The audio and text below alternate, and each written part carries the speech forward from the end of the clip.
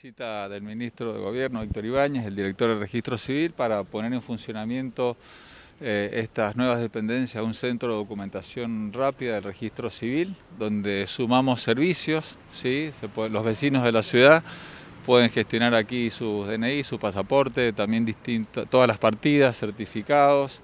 eh, de manera presencial, eh, a través de un sistema de turnos, que se van a otorgar 20 turnos por día, en horario de 9 a 14,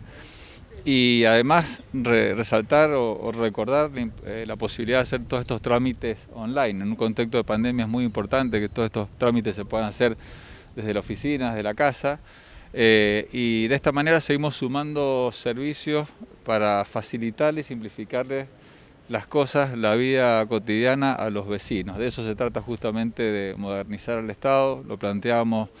durante la gestión de Alfredo Cornejo, la necesidad de incorporar tecnología, ser más eficiente, con, personal más preparado, más capacitado para brindar mejores servicios. Bueno, y esto es posible porque el registro civil también trabajó fuertemente en un proceso de modernización y en un municipio que tiene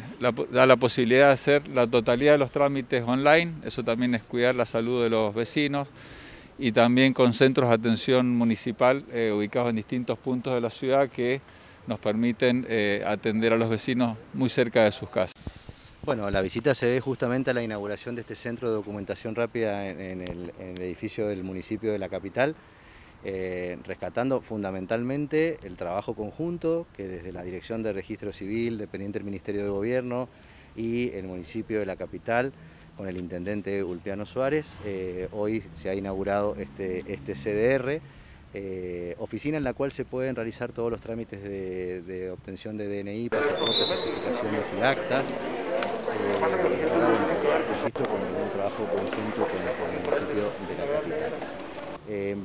Me parece importante también señalar que la Dirección de Registro Civil eh, de la provincia de Mendoza, desde el inicio del aislamiento y, de, todo lo que significa la pandemia, ha trabajado como uno de los servicios esenciales a un 70% de su, de su nivel de trabajo en todo el territorio de la provincia, funcionando todos estos CDR en las, en las ciudades cabeceras de los departamentos. Así que bueno, para nosotros la verdad que es muy importante porque esto va a permitir a todos los vecinos de la capital realizar todos estos, trámites eh, que enuncié primero en, acá mismo en el edificio municipal.